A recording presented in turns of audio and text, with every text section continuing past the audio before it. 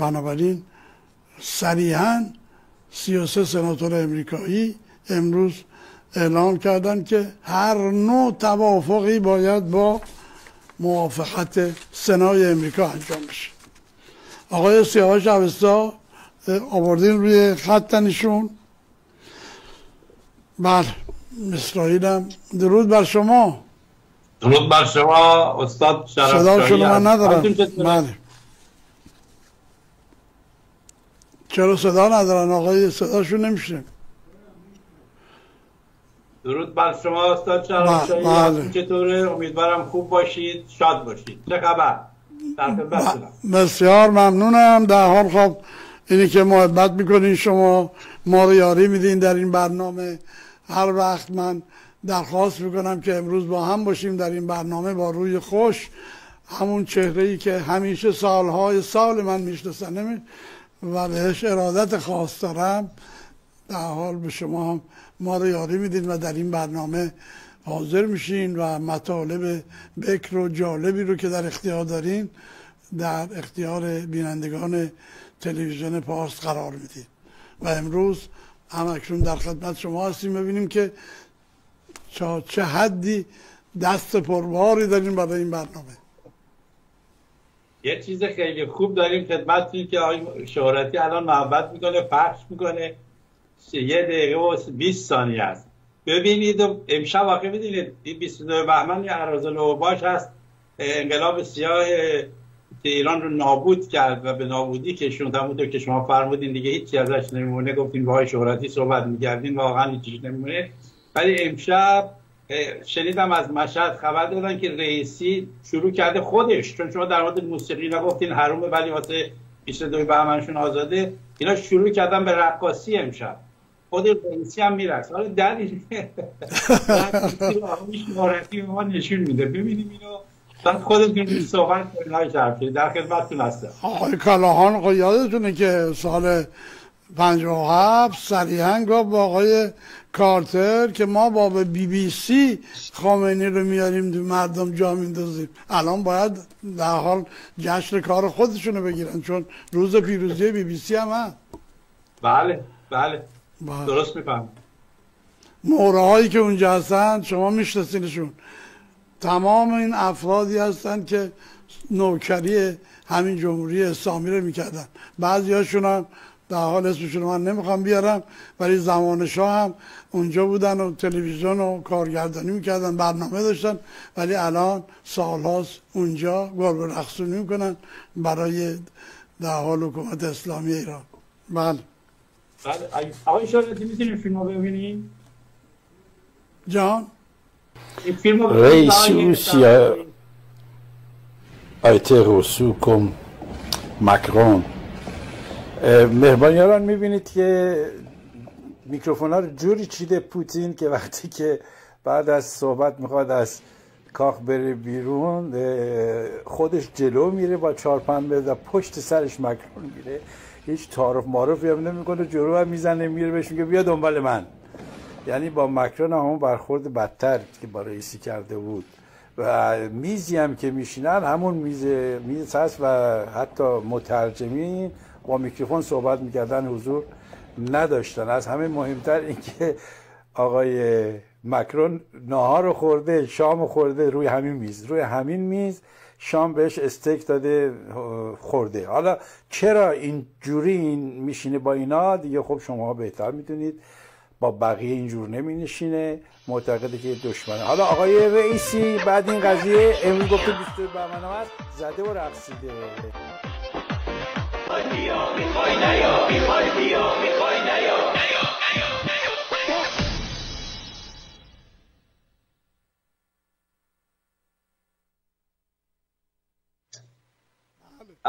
طرف دیگه این فیلم کوتاه رو خودتون ببینید که پوتین همونطور که با رئیسی برخورد کرده بود با مکرون هم که اینها از روز اول شاخه می‌دونید از روز اول پوتین مخالف مکرون بود و از حزب دست راستی خانم لوپن حمایت کرد و اینها رابطه خوبی با هم نداشتن.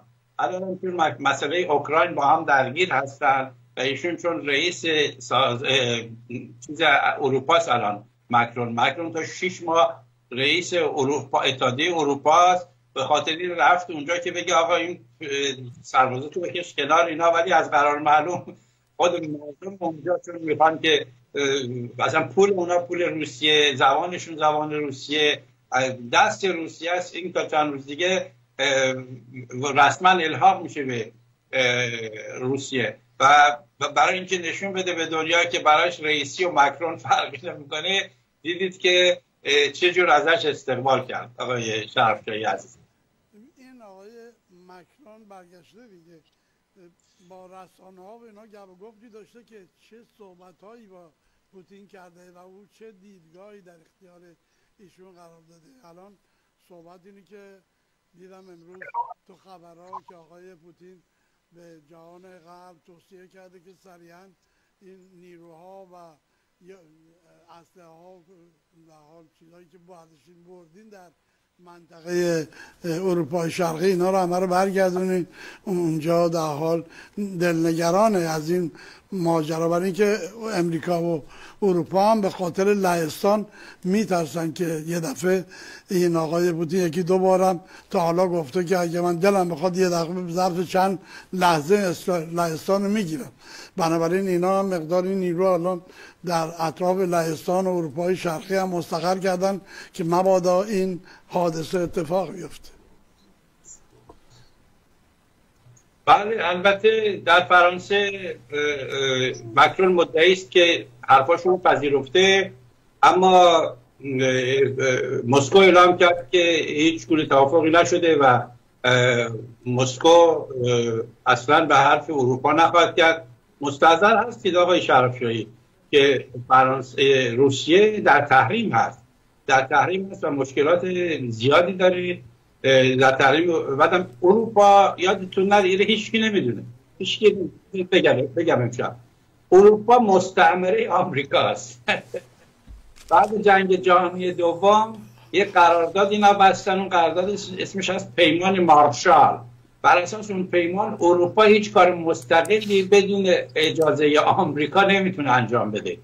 مکرون یه کارایی می‌خواست بکنه که نذاشتن به هر حال. و الان در تحریمی که روسیه شده این تحریم خب اروپا هم شده الان روسیه مشکل مشکل داره های شرفجایی و همین دلیل می‌خواد حتما یه جنگی رو را بندازه مناطقی رو بگیره چون برای انتخابات آینده پوتین هم خیلی اینها موثر خواهد بود این کار. الان پوتین در ایران در روسیه در ایران که خب بین آخودا یه قهرمانه. یعنی یه قهرمان ملیه که اکثریت می‌خوانه. شوربختانه حالا یا بدبختانه یا خوشبختانه. الان می‌دونین که امروز پوتین دستور داد که کشتی های جنگی وارد دریای سیاه بشن. بنابراین این نگران خود روسیه هم نگرانه. نگران اینکه امریکایی ها نیرو دارن میارن و اروپا هم نیرو اینجا گذاشته و اینا. سر به سرش می‌ذارن. بارها هم تکرار کرده که آقا چرا این من سر به سر ما می‌ذاریم ما کاری و کاری کسی نداریم. بیشتر دارین شما من وارد یه مسیری می‌کنین که یه جنگی رو ترتیب بدن در اینجا. واقعا هم خب نگرانی زیادی سر مسئله اوکراین و اون منطقه لهستان و اروپای شرقی به وجود اومده و در حال باید دعا کنیم که جنگی در این منطقه درگیر نشه برای اینکه نتایج بسیار وخیم حتی برای کشورهای آسیایی هم داره. بله این امریکا چون تجربیات تلخی رو از مداخلات خودش در این ور آبها داشته و داره الان هم اگر جنگی شروع بشه و اوکراین رو بخواد یعنی پوتین که مصممه بر کارش این چون من با یکی از اعضای کرملین امروز صحبت کردم چون می‌خواستم این عکسی که بهتون نشون دادم دستم نرسیده بود و مطمئن نبودم. تو فرانسه هم منتشر نشده بود. من می‌خواستم این مطمئن بشم که آیا همون میز رئیسی بوده یا نه با ایشون تماس هم داشتم تلفنی. بعد رو همین قضیه اینا میگن گفتن که برای ما مسئله ناسیونالیسم چون می‌دونید پوتین رو بهش میگن تزار بهش میگن تزار در روسیه. و میگه برای ما مسئله ناسیونالیستی رو مطرحه ما برای اگه بریم به جنگ آمریکا چی براش مطرحه که بخواد بیاد بره جنگ؟ یه شخصیت مهم امروزی به من گفت کرملین. به همین خاطر اگر امریکا یعنی کار خودش من الان به شما عرض می‌کنم. کار خودش پوتین خواهد کرد آقای شرفشاهی. کار خودشو می‌کنه و اینها امکان داره با ایران مباد... یک جورایی معامله کنن بخش اوکراین رو. چون الان یکی از مشکلات اصلی که رئیسی هم تحویلش نگرفت اینه که اینا ساخت توپاخت بزرگی کردن با هم از وقتی که دولت رئیس اومده. ولی نمیگن. زمان ریگن یه کوتاه بگم خدمتتون. زمان ریگن مثل که گفتم یه بار اینجا خدمتتون. به رجایی گفتن که آقا ما تو رو باید فوشت بدیم چون افکار عمومی جوریه. ولی حمایتت می‌کنیم. برو. وقت اومد ولی اون کشته شد. الان یادتون نره خیلی جار و جنجال علکیه. زیرش کار می‌کنه. اگه زمین یک مثال کوچیک بگم. ببینید وقتی انقلاب سیاه شد شاهنشاه از اون زمین سرزمین رفت که نکشت که سرزمین بمونه ایران میلیاردها دلار پول در خارج از کشور داشت. دولت شاهنشاهی سرمایه گذاری کرده بود. حدود 200 میلیارد آمریکا به ایران بدهکار بود. حتی بانک های آقای راکفلر در حال ورشکستگی بود. 973 هزار 973 میلیارد دلار هم سرمایه گذاری دولت شاهنشاهی بود. همون پول را اون موقعی که ما 36 میلیون بودیم. اگه می‌خواستیم به ایرانیا بدیم هر ایرانی یه میلیون گرش میدیم جمهوری اسلامی هم توی 43 سال آقای شرفشاهی با تحریم هایی که شده؟ با اموال ایران که مصادره شده. با پولایی که مصادره کردن که مال ایرانی بوده. حق ایرانی پول ایرانی بود. برای دزدا به اسم خودشون کرده بودن. با اونها حدود 4 5 تریلیارد پول اینا گرفتن. دستشونه که باز از اونم به هر ایرانی 3 4 میلیون دلار می‌رسیده. مثل کشورهای دیگه عربی خب همه پولای ما رفته مملکت هم داغون شده همونطور که شما فرمودین. خیلی هم درست گفتین. اصلا که می‌خواستن بریزن تو دریا بینا فروختن. یعنی الان بازی جهان بازی که همونهایی که اون بالان می‌برن اینایی که پایین از دست میدن بعدم می‌ذارن عمدن که سران رژیم دزدی بکنن خودشون و بچه‌هاشون که بمونن. ولی ملت توی دست و بدبخت و بیچاره. ده آقای شرفی من حساب کردم. حساب دو دو تا چهار تا کردم. ریزش کار تو برنامه شما نمیشه بگم. حدود از 43 سال پیش تا الان که انقلاب شد از پولایی که از دولت شاهنشاهی اینا مصادره کردن تا پولایی که تا الان هر روز دارن مصادره می‌کنن که حتی امارات به ایران بدهکار چین هند بدهکار اینا پول نفت ندادن. پول نفت اصلا چون تحریمه چون معامله با دلار بوده. به هر ایرانی از پنج تا ده میلیون دلار پول می‌رسیده. یعنی کار نکنه بهش پول بدن مثل کشور عربی. بله. شما درباره این تانگ چیفتن می‌دونیم. اصلا من در لابلای خبران مدتی دیگه نمی‌بینم که انگلیس ها اون فشار رو تحمل بکنن هی سپاه پاسداران و اینا فشار شما شنیدین اونجا خبری بود؟ خانم زاغری رو تحویل دادن. چی شده این داستان که سکوت در دو طرف داره ادامه بده می‌کنه در این رابطه؟ می‌دونید که 1500 تا تانک چیفتن محمد رضا شاه عزیزم خریده بود. و پول 1500 تا تانک رو کامل پرداخت کرده بود که چند میلیارد دلار شده بود. اینها بعد از اینکه انقلاب شد چون خیلی وقتی که خیلی از این مردم و دوستان عزیز من که توی رسانه پسانا هستن اینا که تکس از رو برمیدارن می‌خونن از خبر این اصلا اینا رو نمی‌دونن. باید اینا رو بگم. چرا اینها می‌خوان این آخوندا بمونن؟ چون اگه یک آدم حکومت میهنی بره سر کار پولا رو طلب می‌کنه می‌گیره با بهرش هم می‌گیره. 1500 تا تانک چیفتنی که پولش از گرفته بودن اینا ندادن. الان هم دعواست 43 ساله. الان هم ندادن آقای شرفشاهی. اینا می‌گیرن آدم ها رو گروگان می‌گیرن. یک کمی پول می‌گیرن که تازه بهرش هم به اینا نمیدن. و به همین خاطر گروگان گیری این چون اینا برای اینا مردم خودشون حالا خصوصا دو ملیتی باشه. اصلا برایشون مهم نیست. خود همین آقای پوتین شما در نظر می‌گیرین چند سال پیش که یک کار تروریستی شد توی چیز زد همه رو کش اینا همین همین دعوا سر لاف ملاست. لاف ملا چیه؟ همین پولا. یک یک رقم آقای شرفشاهی از بدهی های انگلیس به شاه و ملت ایران تا الان 1500 تا چیرتن بوده که چندی میلیارد اینقدر اینا پولای ما رو اصلا یکی یکی از کارهای انقلاب برای خارجی ها که همشون هم رای دادن تو گوادلوپ یکیش همین پولای ما بود که بالا کشیدن. یکی دیگه پول نفت که رفته بود بالا نمی‌خواستم برن پایین. همین اینا مشکل نفت دارن تو فرانسه الان چند بنزین گرون شده؟ مثل 1970 الان مشکلات دارن درگیری دارن های شرفی بله شما این خبرها رو لابد اینو تعقیب کردین که یک یعنی یکی دو تا از این زندانی هایی که اومدن بیرون گفتن گروه زیادی از فرماندهان سپاه پاسداران تو زندان اوینن. اینا داستانش میگن به خاطر اینکه اینا با اسرائیلیا ارتباط های داشتن. حالا این واقعیت داره که به همین عنوان اینا رو گرفتن یا دلیل دیگه یا نظر شما داره؟ بعد من یه نکته رو بگم حضورتون های شرف من در کتاب افسانه افسانه نمایشنامه از سی سال پیش نوشتم. ببینید اسرائیل یه دولت مقتدریه در دنیا. بله. یک دولت بسیار مقتدریه در دنیا. شامی که علی خامنه‌ای می‌خوره و خبر شام بایدن هم خبر یعنی اقتدار و قدرت جهانی که اسرائیل داره اون سر جاش اونی که خود اسرائیل بنیامین نتانیاهو هم اومد گفت قبلا نخست وزیر بود اونم که سر مدارک هم نشون داد که با تانک کارتون کارتون های بسیاری مسناد ایران بردن تا اسرائیل که نشون داد. اینی که از روز نخست من با آقای آری بن بناشه دوست عزیزم که الان در کانادا است پول خون رو نوشت سی سال پیش آقای شرفی سی سال پیش مسابقه کردم. از سی سال پیش اصلا کمکی که اسرائیل کرد در خرید اصلی برای ایران و چه و چه. و همین نفتی که الان میده. نفتی که اسرائیل.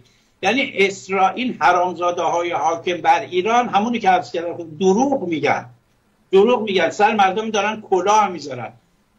دیگه اینو آقای شرفشاهی عزیزم احمدی نژاد بود. احمدی نژاد رئیس جمهور اون مملکت بوده دو دوره. خامنه اومده تحجیه گفت برادر زن خامنه ای با اسرائیل در تماس میده بعد می‌خواسته بره. می‌خواسته بره.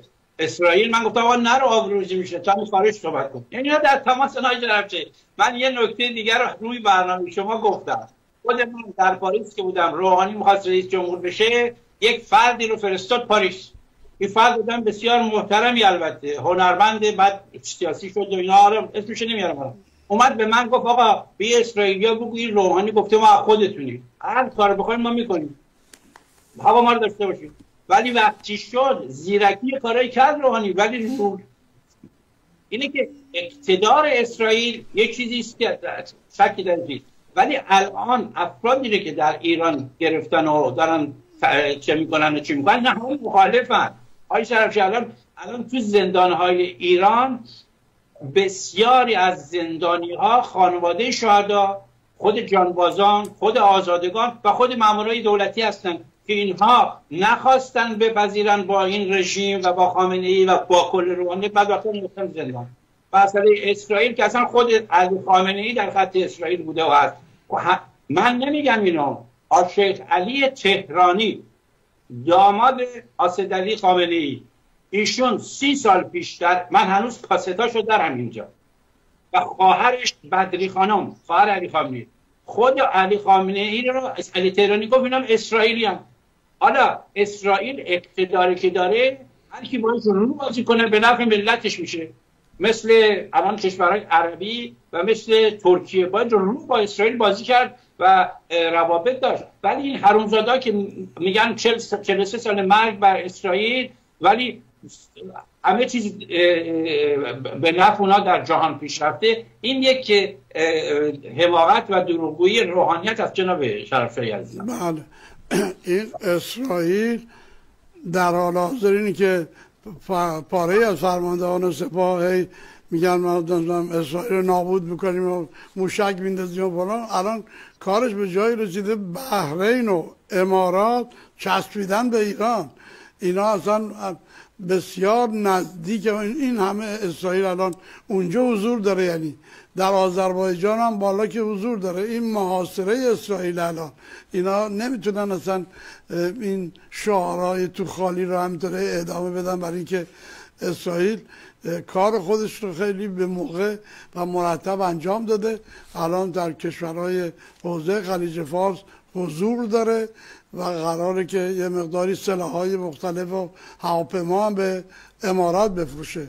خب بنابراین این گرفتاری که این رژیم الان داره همینه که اسرائیل دشمنش اگر هست فکر می‌کنه یه دشمن بسیار خطرناکیه. ولی اوضاع داخل ایران آقای سیاوش عزیز بسیار وخیمه سر و صدای آخونده هم در اومده.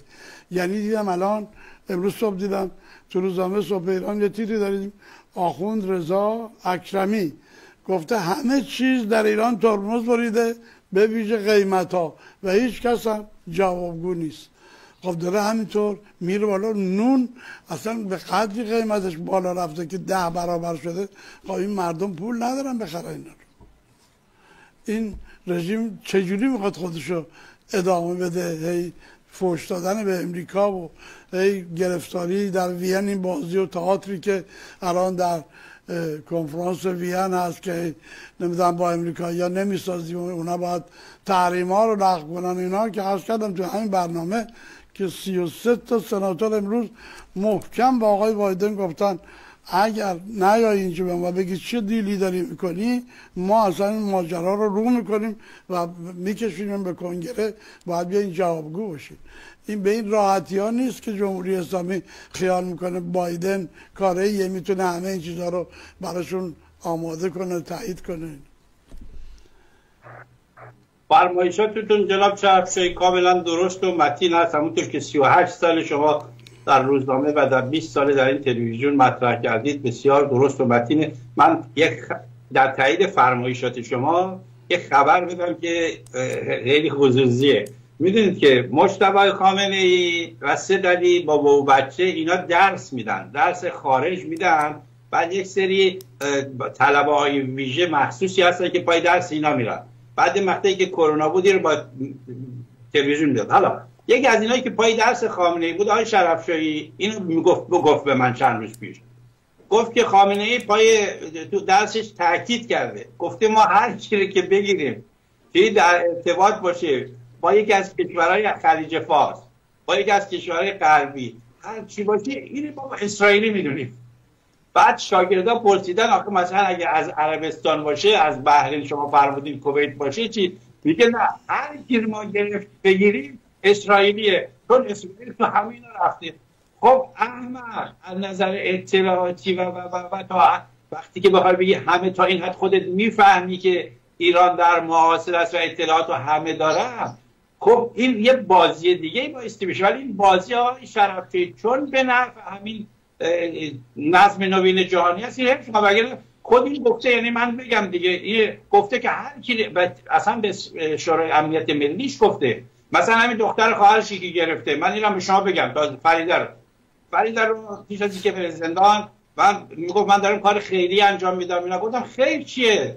کمک کار صالح انجام داد. این بچه که کار خیر انجام می‌داد یعنی به خانواده زندانیان سیاسی پول می‌رفته می‌داده و کمک اینا زندان. حالا به همین اتهام جاسوسی زدن. به همین اتهام جاسوسی زدن که مثلا اگه یک حاجی تو تهران اومده دو میلیون تومان داده که رفته داده بخونه میگن این حاجیه. چون با خلیج با بحرین با کویت در جاسوس جاسوس اسرائیل. الان خواهرزاده خودش میشه جاسوس اسرائیل. اینجوری بعض یعنی خیلی زفرتیانی بقولیم دوستان ارمنی عزیزمون. و شوربختان مملکت رفته و این بچه ها من با بارها اینجا گفتیم. فرماندان سپاه ارتش اینا که دارن می‌گیرن می‌کشن با اینها باید یک اقدام جدی سریعا انجام بده این مملکت رفته های شرف داریم خود رضا شاه عزیز من وقتی که اومد مملکت آزاد کرد یه قزاق بود. یه قزاقی بود که توسط خارجی سپاه ساخته شده بود. ولی این مرد وطن پرست بود برای وطنش کار کرد. الان ما وطن پرست توی ایران زیاد داریم در ارگان های مختلف داریم اطلاعاتی امنیتی سپاهی نظامی ارتشی داریم. اینا بایستی دل بزنن به دریا و مردم هم پشتیاری بکنن و خون هم لازمه آقای شرفی زایش زایش بچه میزان خونریزی داره. ما بخوایم زایش بکنه ایران خونریزی ضروری است. باید انجام بشه تا از این مرحله بگذاریم وگرنه همونطور که محمد رضا شاه گفت از ایران هیچ چیز نخواهد بود چنانچه تاکنون نمانده. بله.